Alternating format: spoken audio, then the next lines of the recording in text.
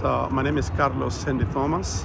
I'm from the uh, people of Miskitu of Mosquitia in, in Nicaragua. Uh, I'm the uh, great great grandson of the last uh, chieftain of the Miskito people, and I am uh, the honorary representative of the uh, Council of Elder of Mosquitia. In the reason I'm here in the UN uh, Permanent Forum is to talk about the situation that my people lives in Nicaragua and Honduras. Um, and uh, especially in Nicaragua right now, we have a very uh, dire situation. The, uh, uh, the people are losing their land right now because the government is uh, taking over uh, with the people, we call them colonos. I guess in English is colonialist. That's um, uh, financed, I would say, by the government, and they are taking over indigenous lands um, uh, and even murdering indigenous people, and we don't have no law that protects us. us. And um, right now, uh, like last year, we came to this same forum with the leader of the political leader of the Miskito people, uh, Mr. Brooklyn Rivera, uh, who also had a, a political party named Yatama, which um, uh, prior to his uh, after he, he, was captured, he they, they, canceled the political party.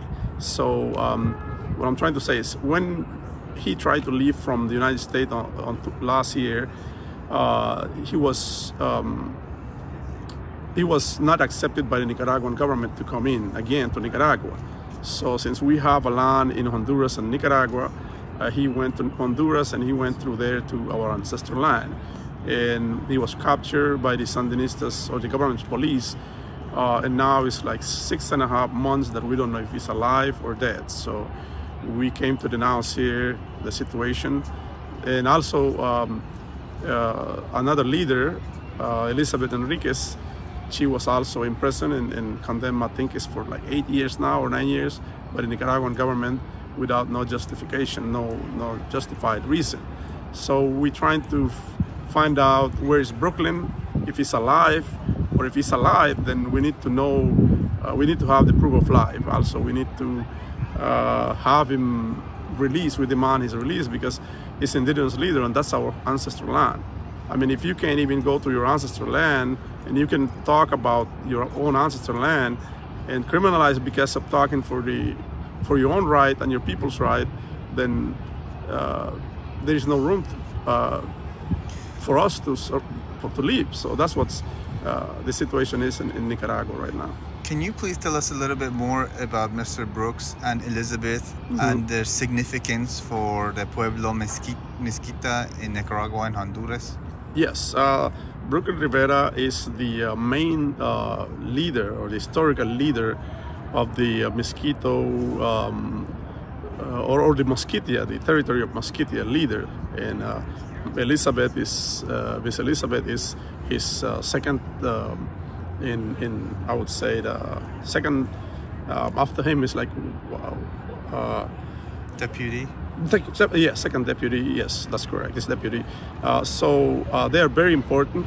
Uh, they were the founder of the um, Mosquito or the indigenous uh, political uh, party, Yatama, which is mean Yapti Tasba Masraka, which is mean the uh, seeds of Mother Earth.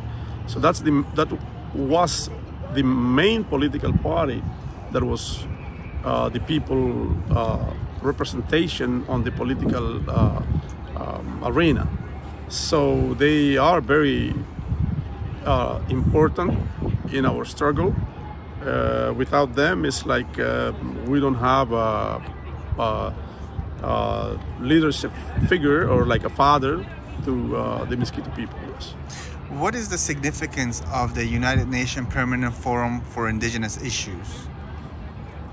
And how is, can this be a platform for the Mosquito Nation to fight for their rights? Well, yes. Um, for us, it's very important the uh, United Nations on Indigenous Rights um, because uh, that's the only place where we can come and say what's really going on, and, and it's a platform where we can speak freely, and and uh, and we hoping that you know by coming here and speak and they would at least uh, work on on situations uh, in our situations. Um, with the government. So they are like the, I'm thinking they are like, or we think that they are like the uh, bridge between government and the indigenous people. So it is very important, yes. Do you have any final message for people who might see this video and maybe a final message to them and how they can potentially help? Well, um, we need all the help that we can, you know, all the indigenous peoples and non-indigenous peoples, uh, you know, uh, people who loves uh, human rights, you know, that um, can uh, intercede for us. That we are. I mean, it's hard to say like this, but we are literally helpless. You know, when you have a government that controls all the uh, power, uh, is mm, there is nothing we can do. You know, and then people can't even uh, demonstrate or, or, get outside or say something. You know, if we do, uh, people are imprisoned just by saying, you know, uh, we um, by talking for the right. So people are afraid. So we are voiceless right now. So whoever listening, you know, like I said, the uh, any community doesn't have to be indigenous communities. Uh, whoever you know loves peace and loves uh, other people's right and human right, we hope that they would. Um, somehow help us, you know, bring our voice to uh, uh, further places. Yes. I understand. Thank you. And also, one last question: What is the significance of land to you and to your people? For for us, uh, land is the um, is everything to us. That's what we call uh, Mother Earth. We, we live with the land. With, without the land, we can't um, exist. We coexist with the land. We don't use the land for like uh, big, um, like the big corporation uses. For example, we use the land to in, in our land we use uh, the land to um, to live from. You know, like uh, let's say we go to the to the mountains to to um, hunt deer. Mm-hmm. You know, and we eat from that. We don't we don't uh, um, profit from it. We don't profit from it. We don't profit from. It. We don't. We don't cut our trees and sell sell in a in a, in a bulk. We use the tree to build our house. Correct. You know, and the river we don't use the river but for to fish and to get the water from.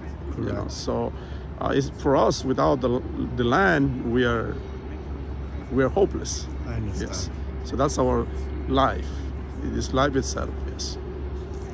Muchísimas gracias, Don Carlos. Thank you very much, Mr. Carlos, for representing your people and being the voice of the Miskito Nation here at the United Nations Permanent Forum for Indigenous Issues. Thank you. Thank you. Thank you.